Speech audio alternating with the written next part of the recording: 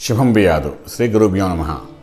మకర రాశి వారికి ఈ వికారినామ సంవత్సరం ఏ విధంగా ఉంటున్న విషయాన్ని మాట్లాడుకుంటున్నప్పుడు ఈ మకర రాశిలో మనం ప్రత్యేకంగా చూసుకునే సరే ఒకటి మనకు కనబడేది ఉత్తరాషాఢ నక్షత్రం అదేవిధంగా మనం చూసుకుంటే శ్రవణా శ్రవణ నక్షత్రం ధనిష్టా నక్షత్రం మనకు కనిపిస్తుంటాయి.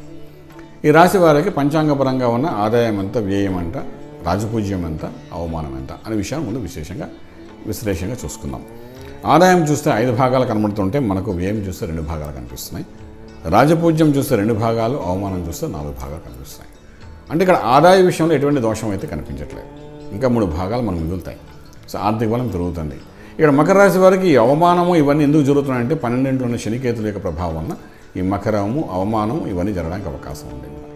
ఈ రాశి వారికి ఈ శని కేతువుల యొక్క ప్రభావం సంవత్సరం పొడుగునా ఉంటుంది కాబట్టి గురుడు మళ్ళీ అక్కడ భార్యంతవరకు అంటే నవంబర్ వరకు ఈ యొక్క ప్రభావం అనేది కనబడుతుందన్నమాట. అదేవిధంగా వీళ్ళు చూసుకున్నప్పుడు అంటే మకర రాశి వారికి ఈ శని పన్నెండు ఇంట్లో ఉన్నప్పటికీ అక్కడ ఆరు ఇంట్లో ఉన్న గురువు యొక్క సారీ రాహు యొక్క ప్రభావం అనేది ఈయన కొంతవరకు ఊరటగా కనబడే అవకాశం కనబడుతుందన్నమాట.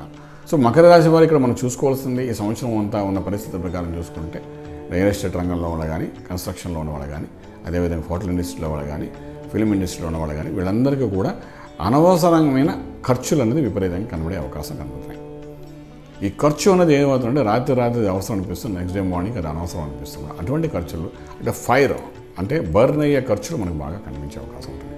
సో వీళ్ళు జాగ్రత్త పడాలి. చదువుకున్న విద్యార్థులకు మాత్రం ఎటువంటి ఆటంకాలు లేవు. చక్కటి చదువు చక్కటి ఉన్నతమైన స్థాయికి వెళ్ళడానికి చేసే ప్రయత్నాలు సఫలీకృతమవుతారు.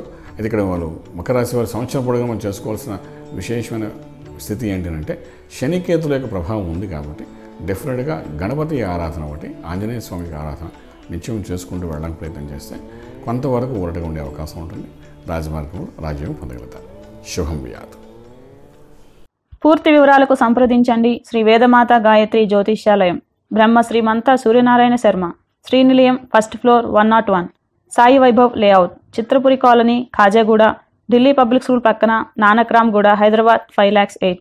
Phone numbers triple eight triple five nine one four seven. triple eight triple five nine one four eight. nine seven zero triple four seven double zero one. nine seven zero triple four seven double zero two.